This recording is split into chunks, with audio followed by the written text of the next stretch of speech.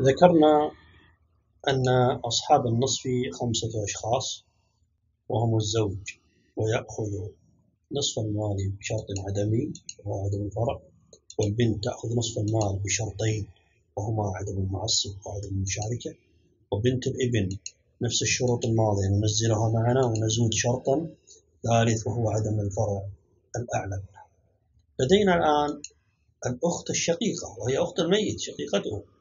متى تستحق النصف؟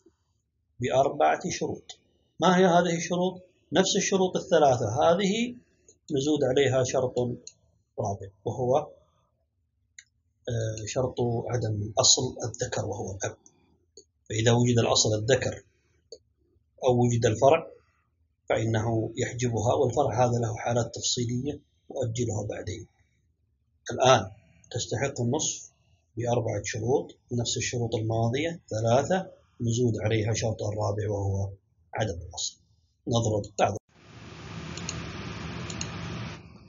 زوج وأخت شقيقة. الزوج هنا مطبق. الزوج مستحق للنصف.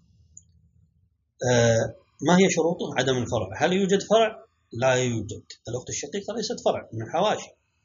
الزوج هنا يستحق النصف. الأخت الشقيقة نطبق شروطها الأربعة. الشروط هذه نحاول أن نحفظها كاسمنا لأن الذي لا يحفظ الشروط لن ينتفع بالدورة الأخت الشقيقة الأخت الشقيقة آه، هل يوجد فرع؟ لا يوجد هل يوجد آه، أصل؟ لا يوجد هل يوجد معصب له أخ شقيق؟ لا يوجد هل يوجد مشاركة أخت شقيقة أخرى؟ لا يوجد انطبق الأربع شروط وتستحق النصف مثال آخر أخت شقيقة وعم هل يوجد معصب؟ لا يوجد هل يوجد آه، مشاركة أخت شقيقة أخرى؟ لا يوجد انطبق الشرطين هل يوجد فرع؟ لا يوجد هل يوجد أصل ذكر؟ العم ليس أصل ذكر الأصل الذكر هو الأب وإن على أب وجد فانطبقت الأربعة شروط فتأخذ الأخت الشقيقة نصف المال العم ماذا نعطيه؟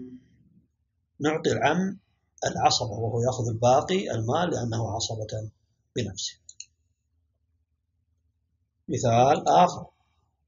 أخت شقيقة وابن نطبق هل يوجد معصب؟ لا يوجد. هل يوجد مشاركة؟ لا يوجد. هل يوجد فرع؟ نعم. اختل الشرط هذا فتسقط ولا ترث. والعم والابن يأخذ الباقي. وجود إيش؟ وجود الفرع الذكر.